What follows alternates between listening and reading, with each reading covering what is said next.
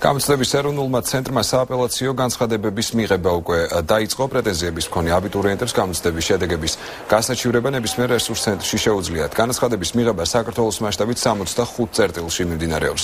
ერთი საგნის შედეგის გასაჩივრება 50 ლარი ღირს, თუმცა პირებს, რომლებსაც აპელაციის შედეგად შეფასება შეეცვლებათ, გადახდილი თანხა უკან დაუბრუნდებათ. აპელაციის შედეგები 20 აგვისტომდე გახდება ცნობილი, 25 აგვისტოს კი ეროვნული გამოცდების საბოლოო შედეგები გამოქვეყნდება.